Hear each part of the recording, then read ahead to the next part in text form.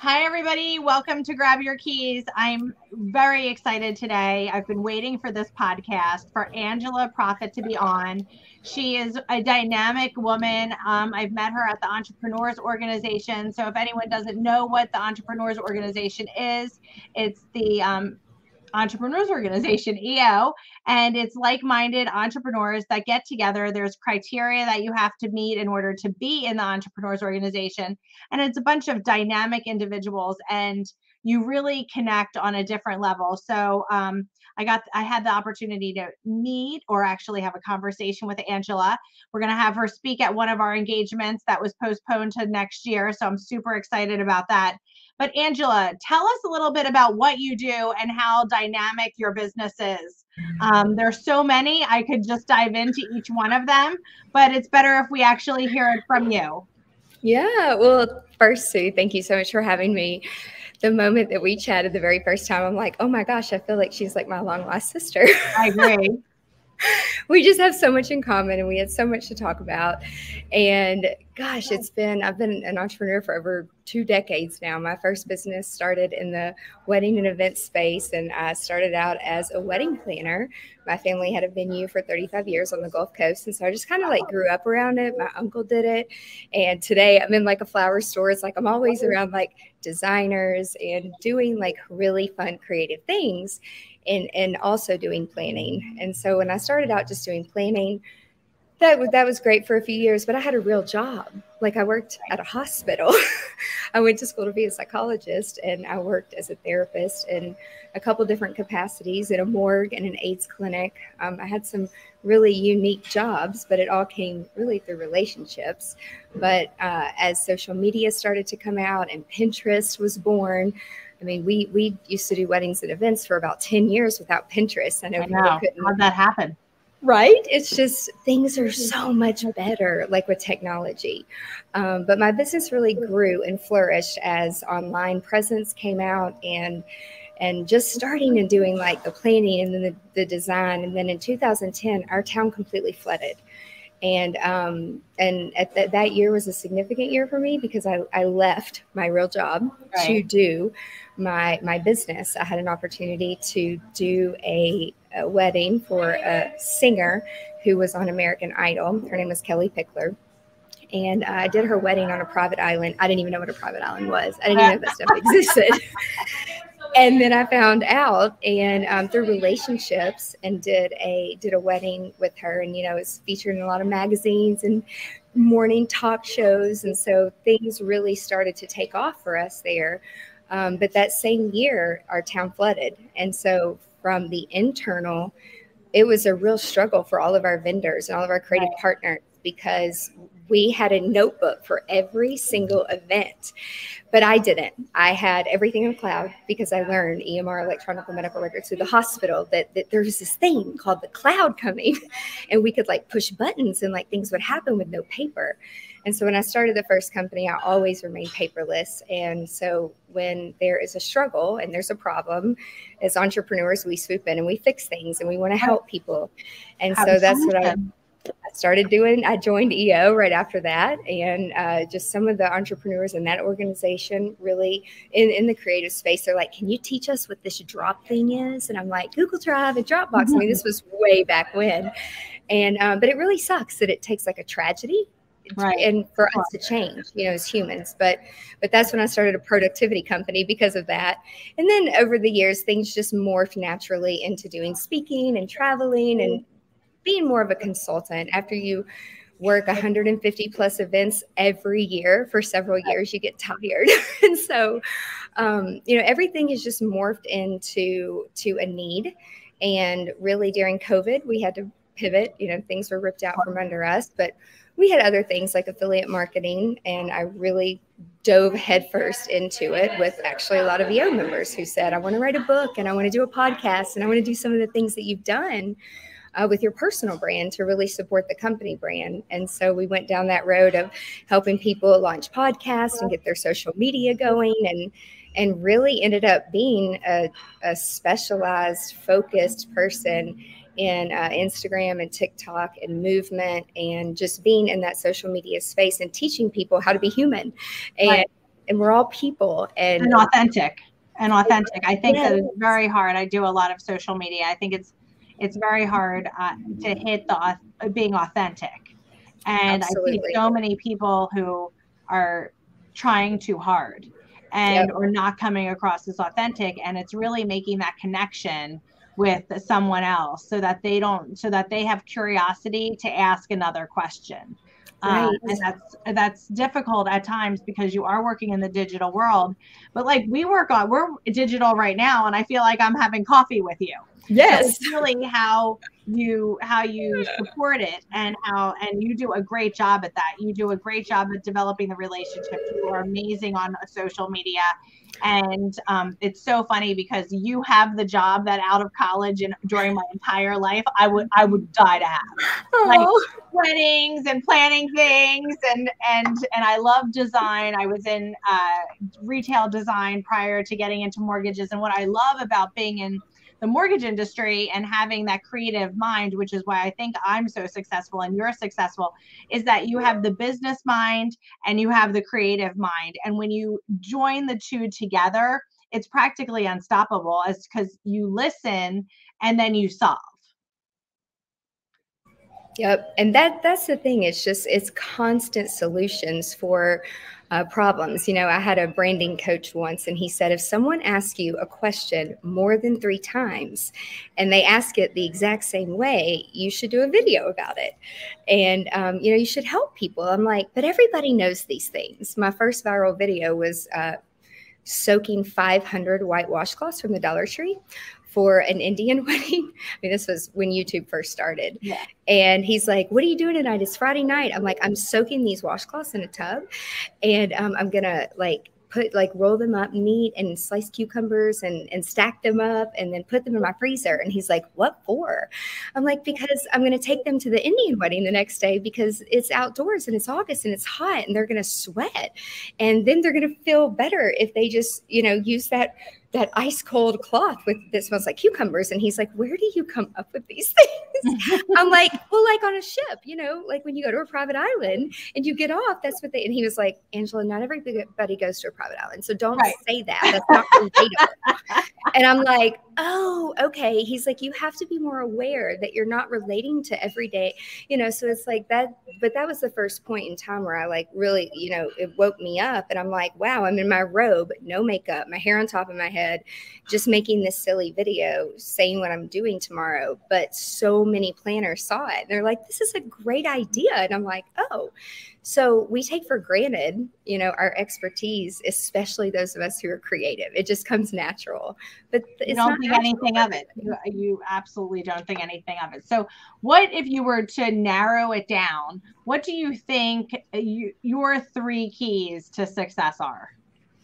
Oh my gosh. Well, so we have we have something called the four P's, but the three P's that we can make the four P's. P's. We can make what are your four? Here, I'll rephrase it. What are your four keys to success?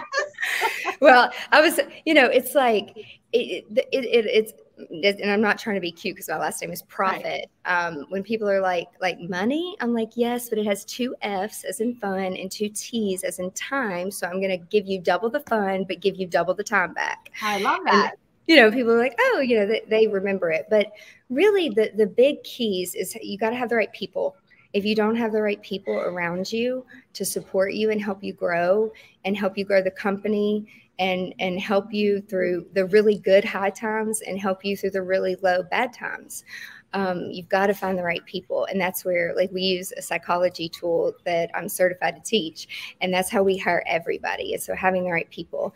The second thing i, I was saying on that? Yeah um, like sometimes you have the right people who are on the bus and as your company grows or as you grow you you you those people change how do you handle when having the right people don't stay the right people? Well, and and sometimes everything has an expiration date. Right. You know, it's true.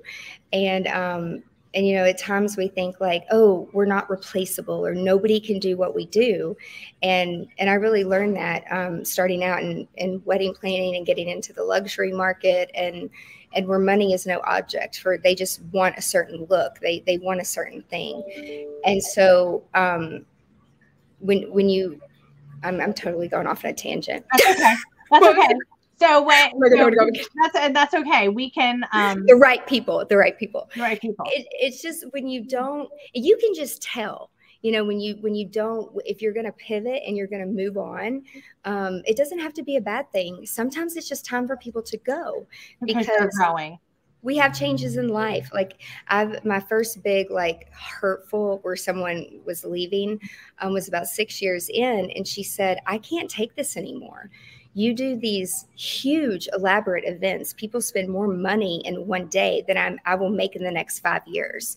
And she's like and it's just uncomfortable and i'm like i am so sorry. You know we're not right. for everyone. It's a market. I i fully hear you. And you know she had a, a, hard childhood and upbringing. I'm like you've done so well for yourself. I never want you to come and work the weddings with us and it make you feel degrading which is what was happening. Mm-hmm. and so mm-hmm. sometimes you know you have to take a step back and remove the emotions and think about the mental health which for me is easy haha because i worked in a, a mental hospital. I've, that's your background right i was in psychology and and i i don't have a whole lot of empathy especially for excuses um, but i definitely you, you have to get with people on, on a human level no matter if you're the president of the company and you're talking to you know someone that cleans the bathrooms it's like sometimes as as entrepreneurs we have to do all of those things you know right. we, we're cleaning the commodes holding someone's hair back while they're puking and then putting on the fancy dress and like running out in front of like Absolutely. cameras and stuff to talk so it's like you've got to learn how to be a little crazy sometimes and pulling people into the crazy with you they either have it or they don't right but the key is, is just have it, which kind of goes into my next P is processes. If you don't have processes, um, you're there's so many things that can fall through the cracks, and there's two really separate pieces. There's the internal processes and the external processes, and looking at those from a psychology view and understanding what does my team need internally, and then being a good leader and listening and flexing and changing um, or or you're always the leader who's like, oh my god, I just went to this conference and there's these three new apps and I want to change it, and they're like, oh my god, seriously, right? Um, so they keep me grounded, and you know, I don't. I like to be just right there in it with them, but I, I had to learn and understand that if there is a broken process, they will tell you, my team, but they're not going to fix it because that's not how their brain is wired and and you've got to get down and work with them sometimes and work through those processes to make them better. Um, and then the external processes, think about it. If there's confusion on the inside, do you not think that there's confusion on the outside coming right. from potential customers? you know, so the, the processes is everything. And every time we break our process, which we do, I'm the worst offender sometimes for my friends and family. Um, you know, it never ends up in our favor. So I have learned to take a step back and and make sure that we are following the process. And I, I don't like to be in charge of anything anymore. I'm like, go ask Amanda, go ask, you know, whoever is in charge of that. Um, you know, and, and really allow those team members to own that and own that process. And um, and then the third P is productivity. And it, that used to be all about software and automation because that's a lot of what I do now. I do a lot of strategy and and whiteboarding out of how is the user experience going to be based on psychology for social media and for your content? And what it, is it is it speaking to your website? Is your Linktree is it all connected you know psychologically to, to a human being? But what i realized is it's not about software. It's not about all the tools and the fancy chatbots and all the things. Um, it's really about you as a leader first. And, and you know my story. We talked about it. Mm-hmm. um, i gained 100 pounds over covid and um, you know it's a really hard time on so many levels but i uh, I almost died of covid. So right. you know it's like you know being out for 18 days and, and having brain damage and all these horrible things um, you know a lot of bad things happened during that time. Right. but when i walked uh, when i was able to walk that and, and get out after 18 days i'm like i've got to move. My doctor's like you're so unhealthy. You're overweight. You're a gymnast. You were a gymnast. You need you know what you need to do and I'm like, I need to move. So I got a treadmill desk. And science says, data says, if you move 10,000 steps a day, you should be able to lose weight, maintain this, be healthy, all these things. And I'm like, no, I'll just try it for 90 days. And um, and then I ended up having the opportunity to market a food group and really learn about um, you know what America is doing to our food, right. which is a whole other podcast. Um, and then we had some clients that we did some social media for that um, you know had an organic farm. And so i was able to be around all these things during during covid and really learn uh, what was causing my food allergies what was causing rashes what was causing me to not lose weight what was causing me to not be able to sleep like all the things that you want to take all these pills for and eat all these gummies for or have surgery for. But it's like if you just do the work the basic one thing a day and you follow it for a year uh, we do we try to do too much. But if right. you are productive as a person which means balance which means sleep which means work which means family which means me time and you have that balance and you work towards it and when you're productive your whole team is much more productive. And i didn't ask any of my team members to get a treadmill desk but they started to do it on their own because not that they needed to lose weight um, all of my girls are much younger than me and much um, you know, the older you get, you can't just eat all the sugar. You I know. I'm right there with you. But you feel like shit, you know? So. It's like just through my own, you know, and, and because of social media and things are very public now, I wasn't trying to start a business of losing weight and, and selling treadmill desks. That was never in the plan. But our whole P for productivity changed from implementing software to me going and speaking about very simple things, just mm-hmm. movement and taking time for yourself. And and what does that look like? And a lot of people talk about that, but no one talks about the how. Like how the do you do it, you know? No, and I'm like, it's definitely hard. I've been on my own journey, which you, you know, we talked yeah. about. And it's hard to make sure that I'm working out at the you know at the gym with the trainer three times a week at least and doing the other things on my own and it takes you know a process and being productive yeah. with it and having you know having the determination for yourself like we put everyone else in, in front of ourselves sometimes and all the time, all the time.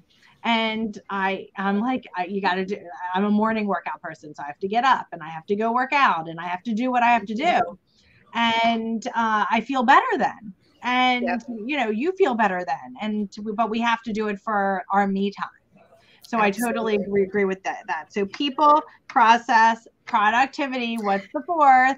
And profit with profit. one F and one T. If your business isn't making a profit and if you don't know your numbers, which I I flew blind for 10 years before I got into you. yeah. Thank God. Um, and you know, it was like getting an MBA, but you got to know your numbers. I'm not a numbers girl, so you can outsource it, but you got to know a little, a little bit to make sure that um, you are really pricing things correctly. And and and you've got to be able to shift each year. Look at look at your products and your services and what's going on in the market because things are crazy right now um, on so many levels. Yeah to know you've got to know your numbers. So there those, uh, those are the four. Yeah there was an email that went or, or a uh, facebook uh, question that went out with an eo member and it said what are the three things that a woman needs to be successful? Um, did you i don't know if you saw it but i put confidence people and know your money. So I'm, I'm right there i'm totally right there with you. If you are running a business you have got to know your numbers. You've got to know and even if you're any type of salesperson you own the company or you don't own the company most salespeople are the ceos of, of me inc. So uh, they need to know their numbers. So people, process, productivity, and profit are your four. They're amazing keys to success, and uh, you definitely need to know them. Who in um, Angela's world or or in the world? I mean, you're a, a world traveler, a world speaker. You're all over the place. I I, I think I'm, I'm, you're amazing for everything that you do and all that you travel. But um, what?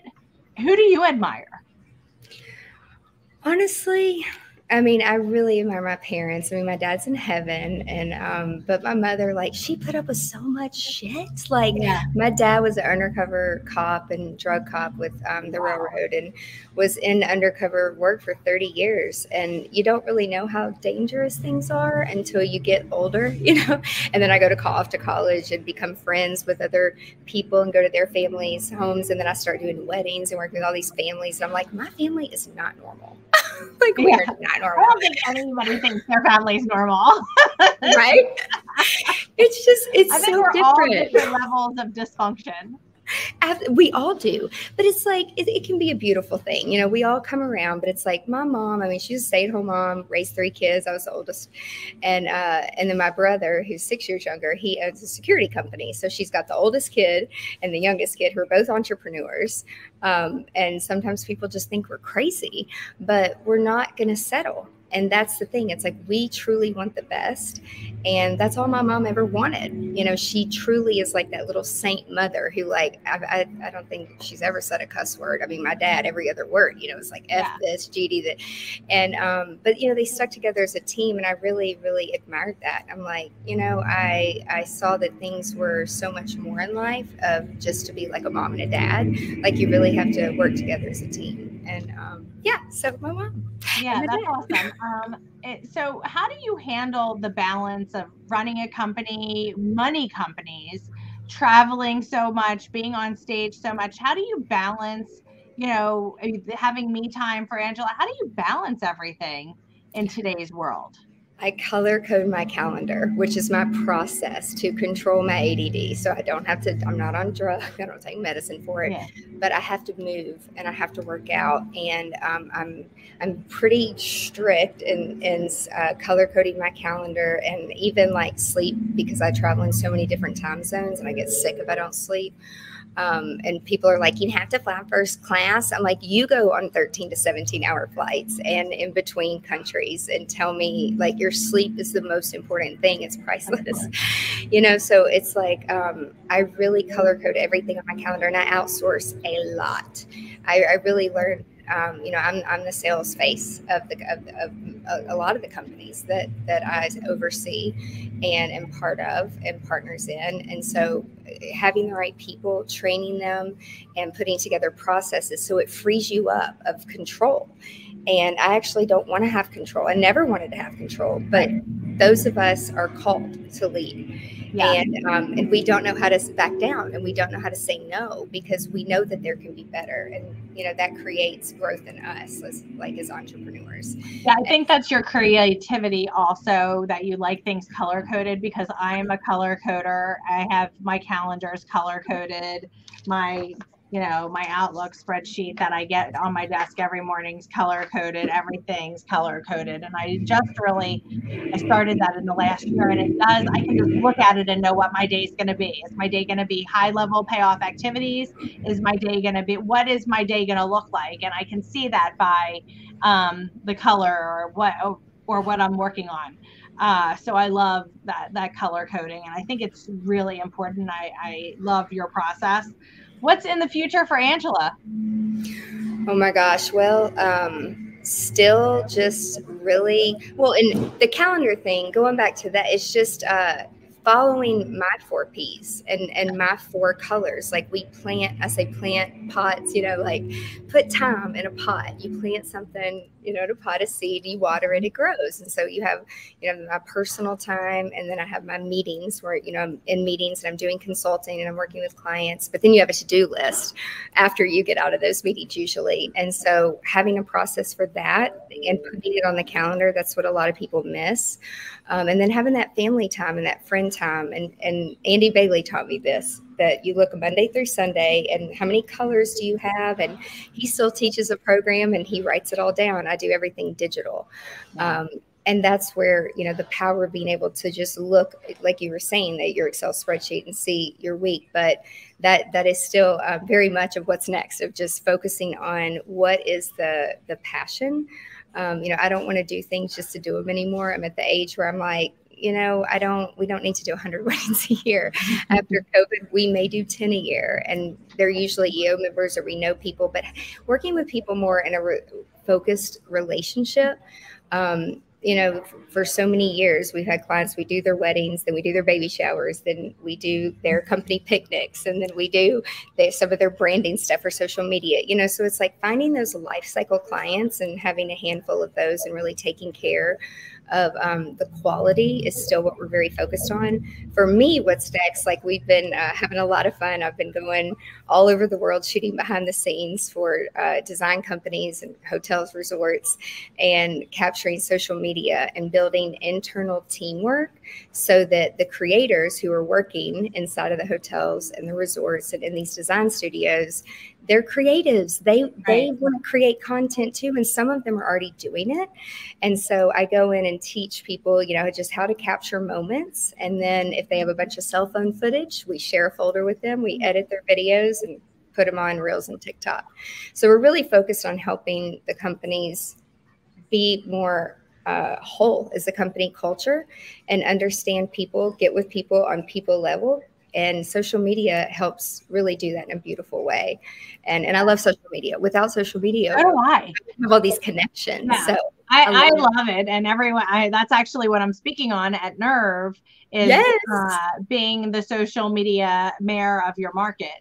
And i'm like super excited about it. And i when you love it it shows you know it shows that you don't mind and it's, it's, exactly what you said with the cucumbers and having your hair and you know up and and you know with no makeup on and just telling people what you're doing and i'm like if i'm gonna i'm gonna make people understand the mortgage business or i'm gonna make people i'm gonna make fun of something that just happened or i'm gonna answer a question that i got asked three you know three times today uh, because if everyone asks it and what and does it really make a difference? We're all human so let people see the real side of you. And I love the hotels and stuff. I'm going to have to follow you more. Um, but I love everything that you're doing. And I'm so glad that you got to share some time with us today, Angela. Someday I'm going to be able to have a conversation in person with you with a glass of wine and yes. we'll probably like have so much to chat about um, because I just know that you're like a sister from another life. So yes, um, I can't wait. I know. I, I, was I was like I have to ask her if she's going to the Tampa, but here's the thing: we will get together. And thank yes. you so much for being on. Grab your keys. You gave us so many great keys today, and if people if you like this podcast and angela use her we'll have a link to all your different companies and your social media on this and um, like it, everyone share it. And as I keep on saying, we have amazing speakers for the rest of the year, and I can't wait to uh, share everyone's keys. So grab your keys, everybody, and I'll see you later. Have a great day.